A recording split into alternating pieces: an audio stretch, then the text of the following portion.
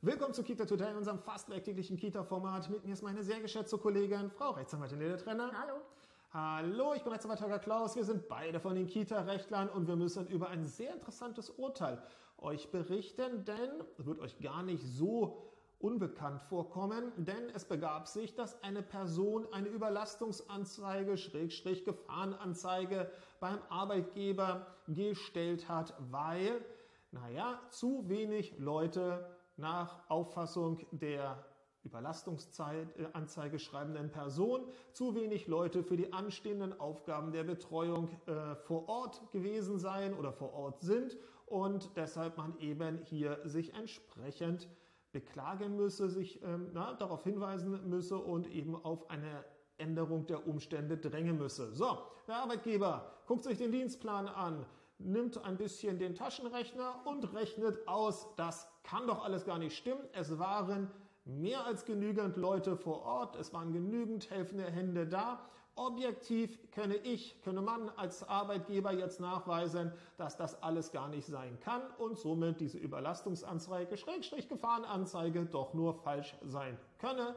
Und schwuppdiwupps, es gab obendrauf eine Abmahnung als Retourkutsche. Das hat sich die Person nicht gefallen lassen und ist zum Arbeitsgericht hin, um diese Abmahnung aus der Personalakte herauszubekommen. Und es wurde dann gerichtlich was entschieden, Frau Kollegin?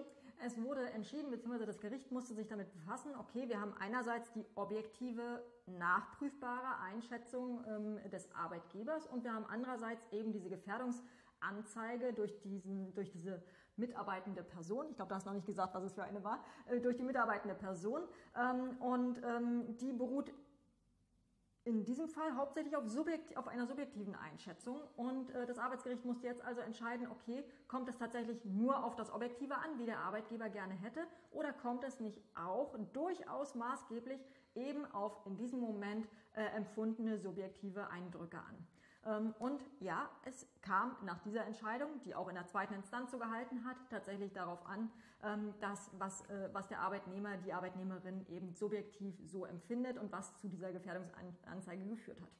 In der Konsequenz war somit dann die Abmahnung aus der Personalakte herauszunehmen und letztendlich macht das auch total viel Sinn. Also, denn natürlich ist das subjektive Empfinden einer Gefahrensituation bei vielen von uns total unterschiedlich ausgeprägt. Wir haben das ja auch bei der Aufsicht. Beim Klettern, wer wie hoch klettern lässt und wer nicht, ist immer natürlich so, ähm, super unterschiedlich einzuschätzen und hat vielleicht auch was mit Erfahrungen zu tun.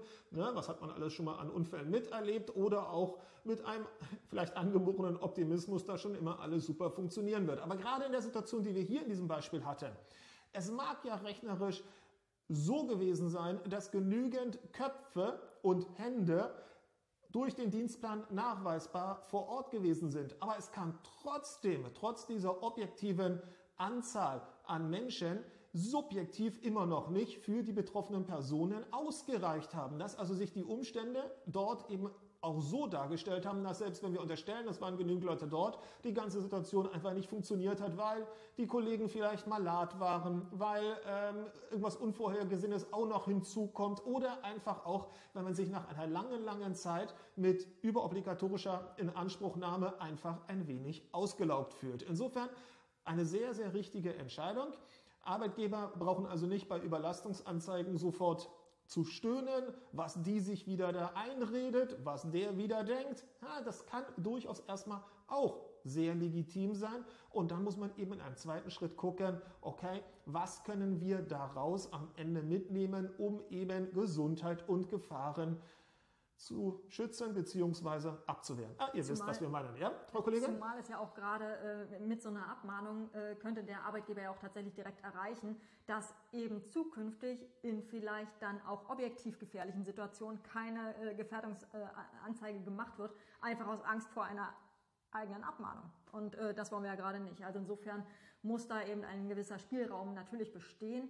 Ähm, und solange ich nicht leichtfertig irgendwas entsprechendes entäußere, sondern durchaus äh, mir dazu Gedanken mache, ob das jetzt gerade gefährlich sein könnte oder nicht, ist das eben absolut, ähm, kann es sehr gut in Ordnung sein. Genau so. Ich schließe mit dem berühmten mit den berühmten Worten der subjektiven Wahrheit. Ne? Gerade in Streitereien, dann können beide auch irgendwie, Stichwort subjektive Wahrheit, ja das Gefühl haben, im Recht zu sein. Und da bringt es ja auch nichts, wenn man dem anderen versucht zu beweisen, dass das alles nicht so stimmen kann, sondern da kommt es auf die Einschätzung sehr wohl ja auch an. In dem Sinne, haltet weiter durch. Bis dahin, ciao.